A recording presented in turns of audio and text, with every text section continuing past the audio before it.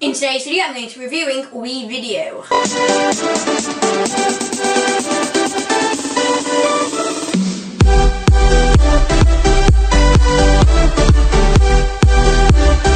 What's up guys, Elliot here from Venom Films and in today's video I'm going to be reviewing WeVideo. Now I got a comment quite a long time ago, I have no idea, uh, saying should I, can I do a WeVideo tutorial and I thought why not even though I do not recommend this as you can get something like HitFilm 4 Express, much better quality, and it, and it, that is also free. And but the plus side to this is it's actually all online, so you don't need to download anything.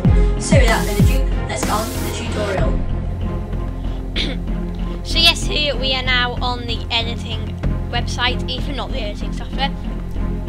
And as you can see, it's quite a cool website with lots of and to sign up, all you are going to do is go to here and click get started and that will get you doing it. So once you've got an account, this is what you'll first see. And what you're going to want to do is go create new. As you can see, it is now loading. And I've already uploaded some files. So I'm just going to drag these on. It's very simple to upload. You just go My Media and it will upload them. So I've got four videos here that I want to do.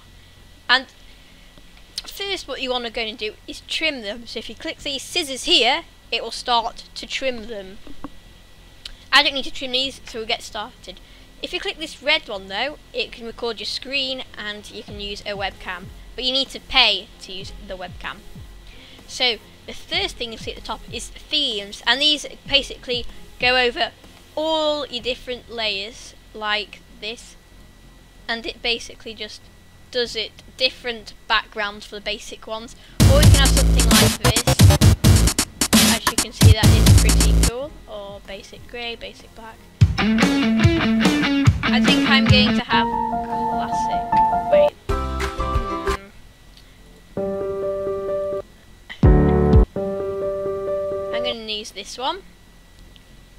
Oh, maybe not. That colour grading's horrendous maybe I might actually use vintage.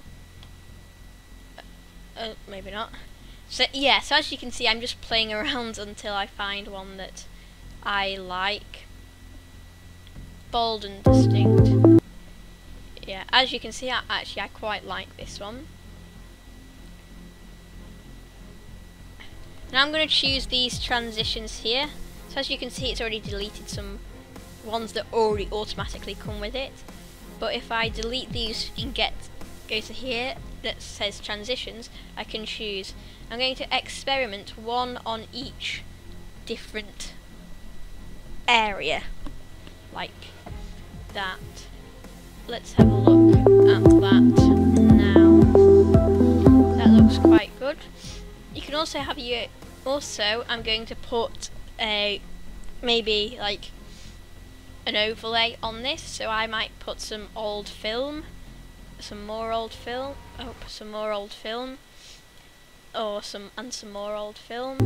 Cool. I can also add some text on here if I wanted so a uh, lower thirds here. Oh if I also add some text if I wanted to. It, but I do not you also you can also choose down this drop down menu if you want different ones like I don't know a rectangle or a arrow. So once you've done your video and you're happy with it, what you're going to go to do is finish here and you're going to set whatever you want the video to be called, better quality and then you're going to press the download one and then it will be done. Here is a video that I made earlier.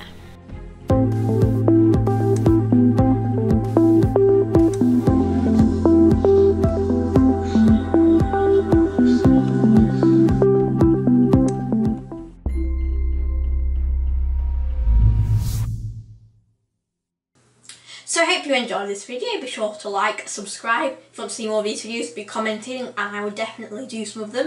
And until next time, bye!